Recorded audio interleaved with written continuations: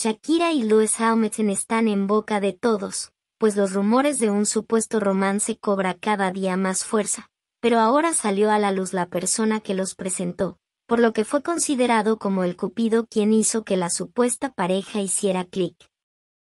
Carlos Sainz, piloto de carreras, y amigo de Shakira fue quien presentó a la cantante colombiana con Lewis Hamilton quien también forma parte de su círculo social. Es por eso que se le hizo buena idea presentarlos de acuerdo con el periodista Pipi Estrada, quien filtró la información del aparente Cupido.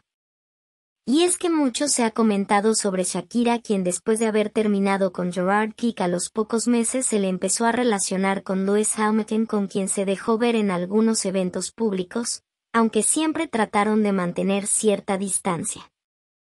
Carlos Sainz es un reconocido piloto de carreras español de 28 años de edad, quien ya lleva un tiempo compitiendo en eventos importantes, además es una estrella en su país, además de un socialité, ya que acude a los eventos del mundo de la farándula y deporte más importantes.